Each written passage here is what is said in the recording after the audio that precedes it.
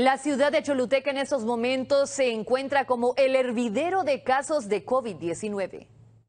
Autoridades sanitarias del departamento de Choluteca han indicado que en los últimos tres meses la ciudad de Choluteca se mantiene en el pico más alto en contagios por COVID-19. Detallaron que de los 6.442 contagios confirmados hasta la fecha, el municipio de Choluteca tiene 4.530 casos, es decir, el 70.32 del total de los infectados. Además, registra el 52% de las muertes del departamento, es decir, 106 de las 203 víctimas mortales de este año en todo el departamento, los municipios de Marcovia y El Triunfo también se ubican entre los lugares más vulnerables ante el virus. Datos estadísticos de la región sanitaria del sur revelan que en el departamento el número de contagios suman arriba de los 6.000 casos. Unos 2.907 son hombres y al menos 3.555 son mujeres. Los médicos del departamento aseguran que la incidencia de casos se ha disparado porque los habitantes del municipio no han querido inocularse contra el COVID-19, ni mucho menos usan las medidas de bioseguridad y aún así asisten a multitudinarias aglomeraciones de personas, dando el mal ejemplo e irrespetando los protocolos sanitarios.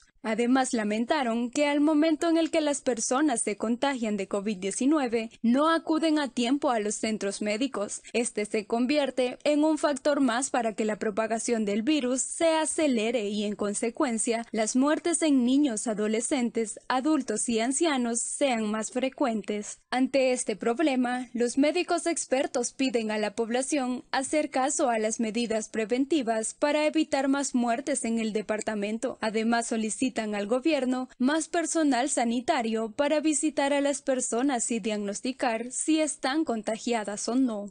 Les informó Evelyn Oyuela.